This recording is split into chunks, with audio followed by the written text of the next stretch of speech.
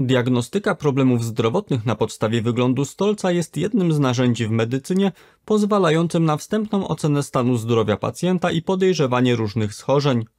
Wygląd stolca może dostarczać cennych informacji nie tylko o funkcjonowaniu jelit, ale również pracy innych narządów. I dziś chciałbym Państwu nieco szerzej powiedzieć, co takiego możemy wyczytać z wyglądu stolca.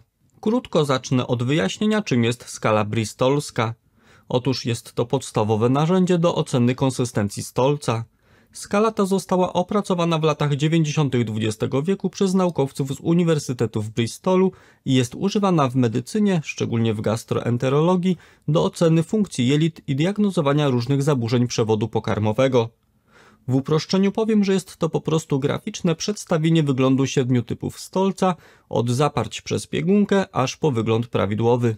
Jak mogą Państwo zobaczyć na ekranie, typ pierwszy charakteryzuje się obecnością małych kulek o nierównej powierzchni, które jednocześnie są twarde. Jeśli zaobserwujemy u siebie taki wygląd stolca, to wskazuje to, że zmagamy się z dość ciężkimi zaparciami. Podobnie jest w przypadku typu drugiego, czyli stolca, który również jest twardy i cechuje się wydłużonym kształtem z widocznymi grudkami. Taki stolec także świadczy o zaparciach, choć o mniejszym nasileniu.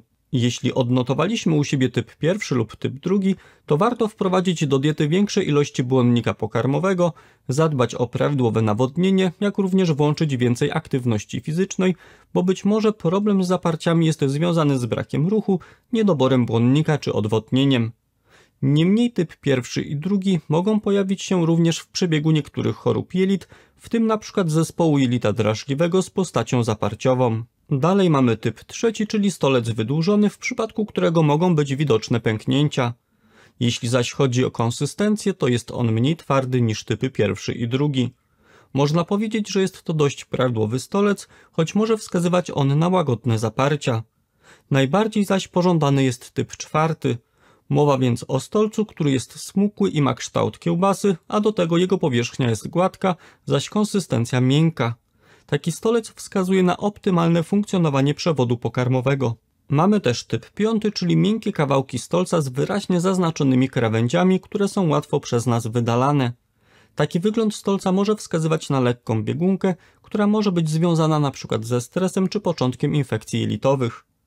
Dalej mamy typ szósty, który charakteryzuje się obecnością kłaczkowatych kawałków stolca, które są postrzępione i przyjmują konsystencję papkowatą.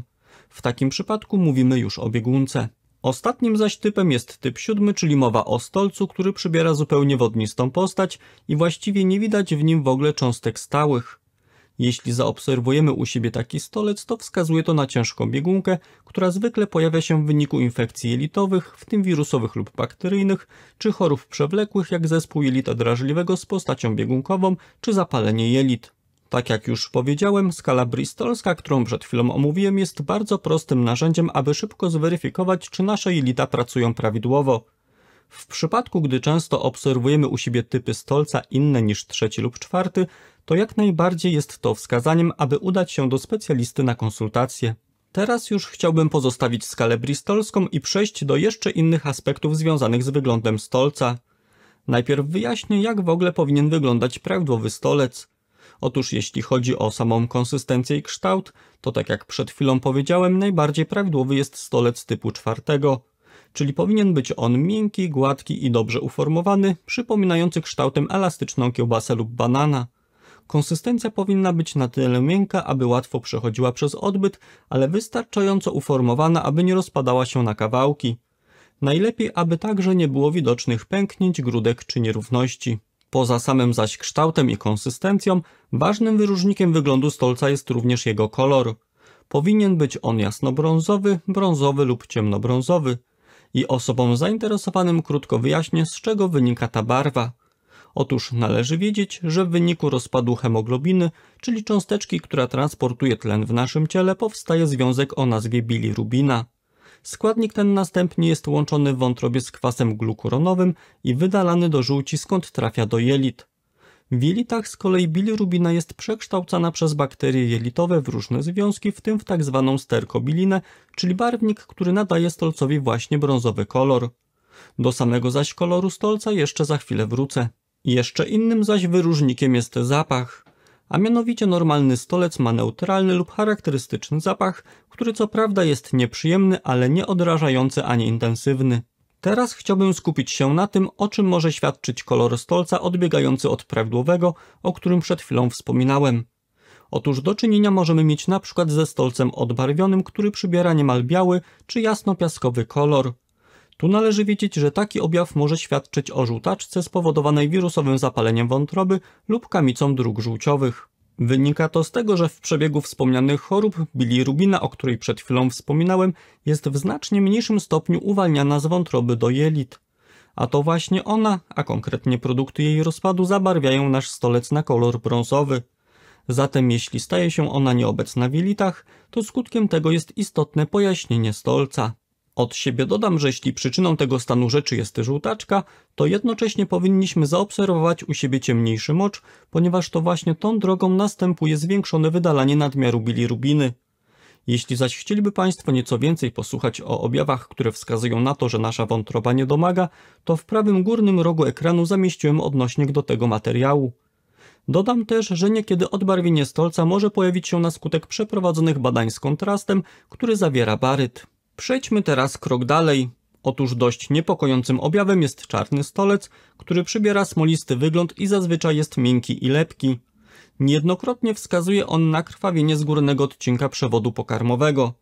A to dlatego, że obecna we krwi hemoglobina ulega w jelitach przekształceniu do związku o nazwie hematyna, który jest barwnikiem i który to nadaje stolcowi wyraźnie czarny kolor. Od razu dodam, że najczęstszymi przyczynami krwawienia z górnego odcinka przewodu pokarmowego są wrzody trawienne żołądka i dwunastnicy. W przypadku niektórych osób czarny stolec może być nawet pierwszą oznaką tych chorób.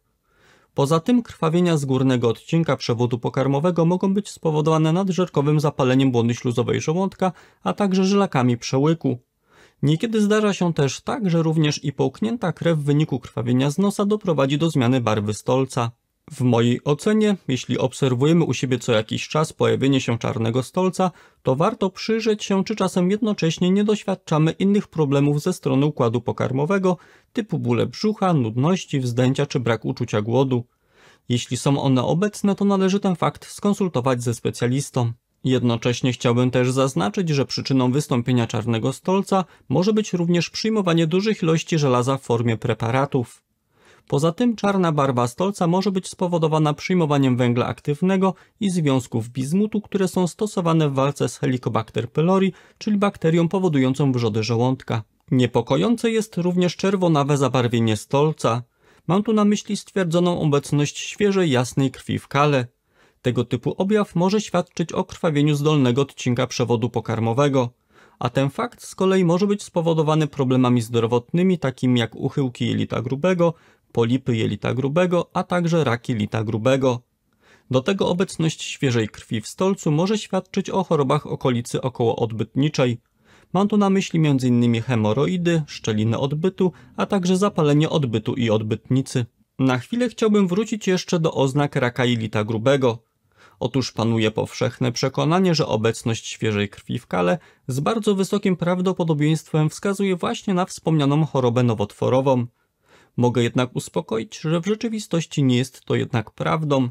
W jednym z polskich artykułów możemy przeczytać wprost, że tylko u około 6% pacjentów z jawnym klinicznie krwawieniem z przewodu pokarmowego stwierdza się raka jelita grubego.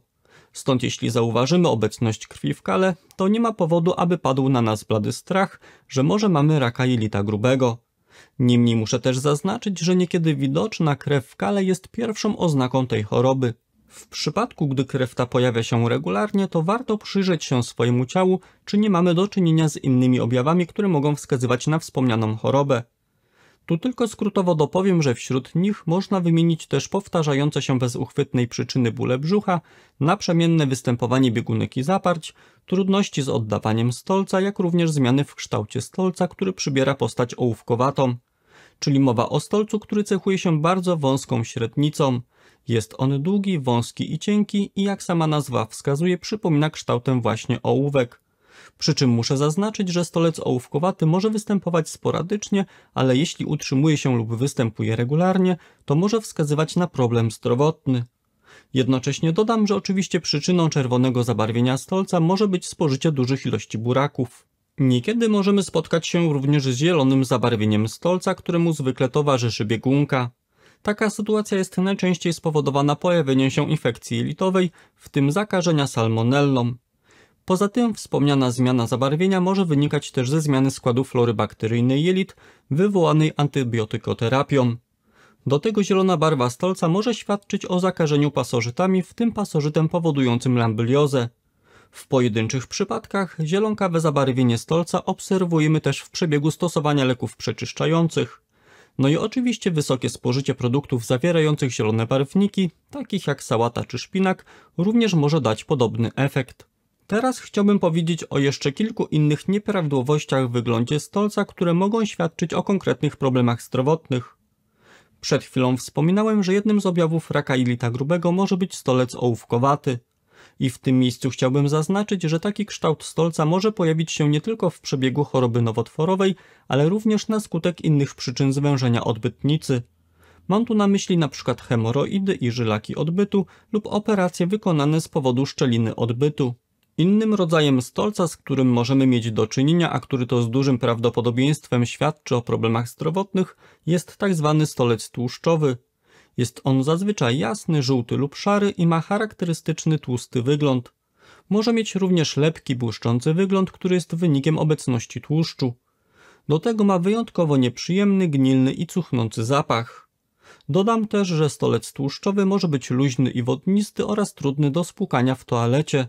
Często też pływa na powierzchni wody w muszli klozetowej, ponieważ tłuszcz ma mniejszą gęstość niż woda. Bardzo często jest on wynikiem zaburzeń w trawieniu lub wchłanianiu tłuszczu w przewodzie pokarmowym.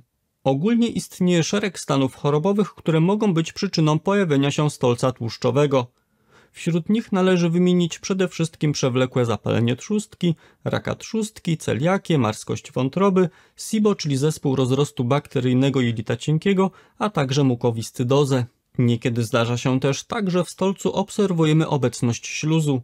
Tu przede wszystkim chciałbym zaznaczyć, że śluz jest naturalną substancją obecną w przewodzie pokarmowym, która ułatwia pracę jelit i działa na nie ochronnie. Dlatego też jeśli zauważymy jego domieszkę w kale, to z dużym prawdopodobieństwem nie świadczy to o żadnym problemie zdrowotnym. Niemniej niekiedy jego duża obecność w stolcu może być spowodowana hemoroidami, zaś gdy jednocześnie towarzyszą mu zaparcia lub biegunki, to może to wskazywać na zespół jelita drażliwego. Jeśli chodzi o oddawanie stolca, to dwa słowa chciałbym powiedzieć jeszcze o rytmie wypróżnień. Otóż na początku filmu wspominałem, że skala bristolska pozwala nam zidentyfikować, czy forma stolca jest prawidłowa, czy też wskazuje na biegunkę lub zaparcia. Jednak w diagnozowaniu tego problemu warto też oczywiście zwrócić uwagę na samą częstotliwość wypróżnień. W dużym uproszczeniu mogę powiedzieć, że prawidłowa częstotliwość wypróżnień może wynosić od 3 razy dziennie do 3 razy w tygodniu. Zakres ten jest bardzo szeroki, ponieważ częstość wypróżnień jest istotnie uzależniona od naszych indywidualnych uwarunkowań, w tym stosowanej diety. W efekcie o biegunce mówimy wtedy, gdy częstotliwość wypróżnień przekracza 3 razy dziennie, zaś o zaparciach wówczas, gdy wypróżniamy się rzadziej niż 3 razy w tygodniu. Zarówno w przypadku biegunek, jak i zaparć możemy zidentyfikować wiele różnych przyczyn.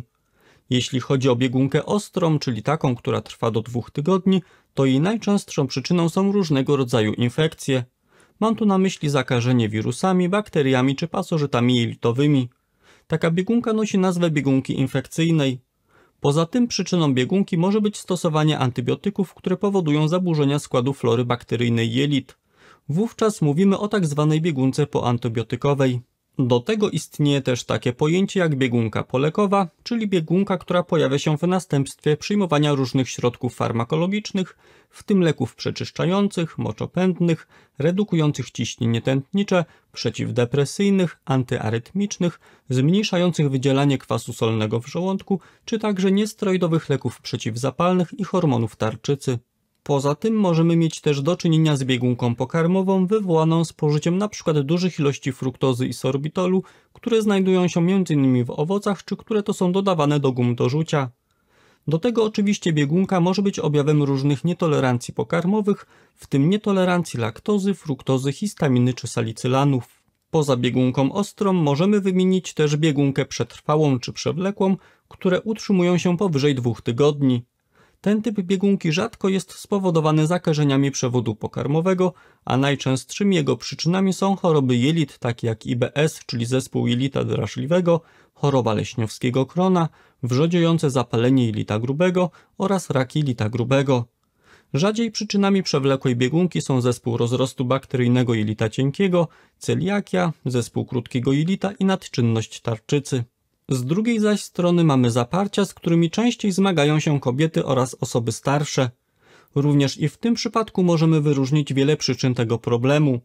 Poza stosowaniem diety ubogiej w błonnik i brakiem ruchu, do zaparć mogą prowadzić problemy zdrowotne takie jak niedoczynność tarczycy, wspomniany już rak jelita grubego, zespół jelita drażliwego w postaci z zaparciami, zwężenie odbytu, wypadanie odbytnicy, endometrioza, choroba Parkinsona czy hiperkalcemia. Ponadto przyczyną zaparć może być stosowanie wysokich ilości preparatów z żelazem, przyjmowanie środków antykoncepcyjnych czy stosowanie niektórych leków, w tym leków przeciwdepresyjnych, przeciwbólowych, przeciwdrgawkowych czy przeciwnadciśnieniowych. Jak zatem mogli się Państwo przekonać, zarówno biegunki, jak i zaparcia mogą być krótkotrwałą dolegliwością, która ustępuje samoistnie lub po wprowadzeniu niewielkich zmian, np. w odżywianiu czy ruchu, jak również mogą trwać przez dłuższy czas i być związane z konkretnym problemem zdrowotnym. Jeśli więc dość często doświadczają Państwo tego typu problemów, to jest to wskazaniem, aby udać się do specjalisty.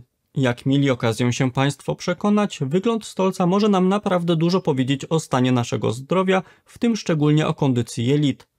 A z uwagi na to, że jelita są kluczowym organem wpływającym na zdrowie całego organizmu, to warto nie bagatelizować pojawiających się zmian w rytmie wypróżnienia czy właśnie w wyglądzie stolca. Jeśli zaobserwują Państwo u siebie jakiekolwiek zmiany w tym zakresie, które jednocześnie utrzymują się przez dłuższy czas, to jak najbardziej warto ten problem skonsultować ze specjalistą, w tym np. gastroenterologiem. Jednocześnie jeśli interesuje Państwa temat jelit, to zachęcam jeszcze do zapoznania się z materiałem, w którym opowiadam co takiego możemy zrobić, żeby poprawić ich kondycję. Aby się z nim zapoznać, wystarczy kliknąć na miniaturę, która pojawiła się na ekranie. A na dziś z mojej strony to wszystko. Dziękuję za uwagę i do zobaczenia w kolejnym odcinku.